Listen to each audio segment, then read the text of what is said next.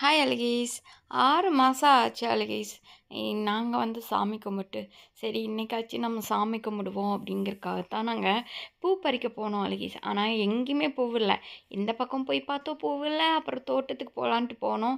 But எங்கள் வீட்டில் சுவிட்சு கரண்ட்டு குட்டி கரண்ட்டு அப்படின்னு மூணு பேர் இருக்காங்கல்ல அதில் பெரிய கரண்ட்டு தான் அழகீஸ் இவன் என் பின்னாடியே வந்துட்டுருக்கா எது வரைக்கும் வருவானா அந்த தோட்டம் எண்டு வரைக்குமே வருவாள் ஸோ அதனால் பார்த்தீங்கன்னா நான் ரொம்ப ஹாப்பியாக ஒரு சேஃப்டியாக ஃபீல் பண்ண மாதிரி இருந்துச்சு.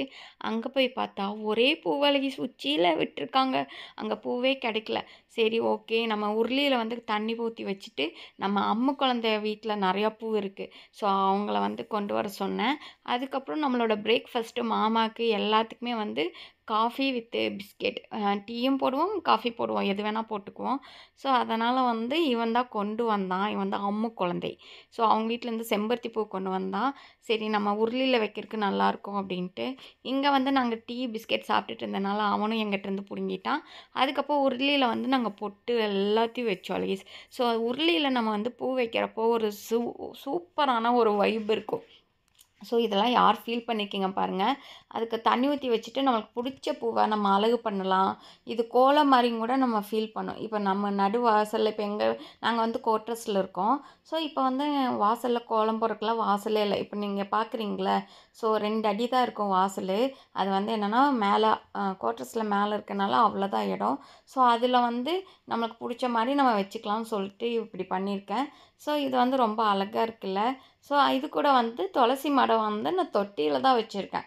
ஸோ அது வந்து ஆறு மாதம் அப்படிங்களா மழை பெஞ்சு பெஞ்சு ரொம்ப இதாயிருச்சு.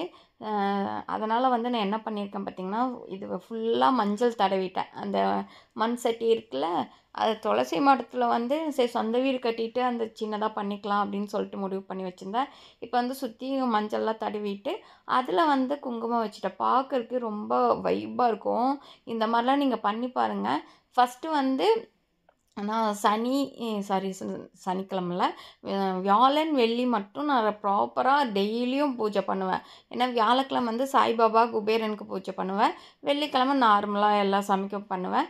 அப்புறம் மாமா வந்து ஸ்கூல் கிளம்பி போயிட்டார். ஸோ அவருக்கும் பொட்டு வச்சு விட்டுட்டேன்.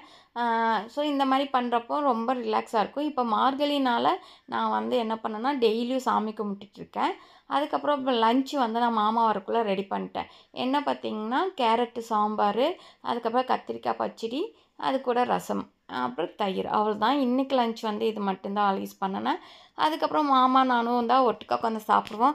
பட் எனக்கு கேக் செய்கிற வேலை இருக்கனால நான் பிளேட்டில் போட்டு வச்சுட்டு நான் கேக் செய்ய போயிட்டேன் அலீஸ் ஏன்னா நான் ஈவினிங் மாமா வர்றதுக்குள்ளே நான் செஞ்சு வச்சா தான் டெலிவரி கொண்டு போகிறதுக்கு டைம் கரெக்டாக இருக்கும்.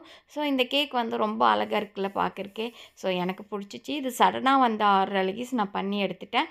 அதுக்கப்புறம் இன்னொரு கேக் இருந்துச்சு. நான் போய் சாப்பிட்டுட்டு வந்துட்டு தான் இந்த கேக் பண்ணேன். இது என்ன கேக் பார்த்திங்கன்னா ஆஃப் கேஜியில் வந்து கேட்டிருந்தாங்க. ஸோ அதுக்கு தகுந்த மாதிரி நான் பண்ணேன். பட் நான் புதுசாக ட்ரை பண்ணலான்னு ட்ரை பண்ணேன். பட் எனக்கு பிடிக்கல. அந்த ஹாட்டெல்லாம் வெளியே எடுத்துட்டேன்.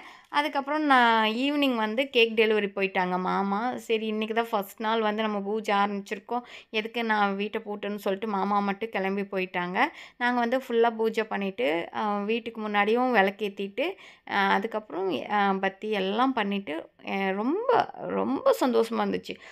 ஆறு மாதத்துக்கு கழித்து இப்படி பண்ணுறது ஸோ ஃபைனலாக வந்து இன்னும் மாமா கிளம்பல. இப்போ என்னென்னா நாங்கள் எல்லாம் சாமி கும்பிட்டுட்டு வீட்டை பூட்டக்கூடாது அப்படிங்கிறதுக்காக மட்டும்தான் நாங்கள் நான் போகலை. ஆனால் மாமா மட்டும் கொண்டு போயிட்டான் ஸோ டெலிவரிக்கு வந்து நிறைய ஆள் வேணும் அழகீஸ் ஆனால் எங்களுக்கு குவார்டர் ஸ்கூலில் இருக்கனால அலோவ் பண்ண மாட்டாங்க யாரையும்.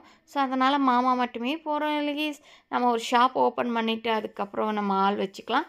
இதோட இந்த விலாக் முடிச்சுக்கலாம் அழகீஸ் நாளைக்கு இன்னொரு விலாகில் பார்க்கலாம். By by love you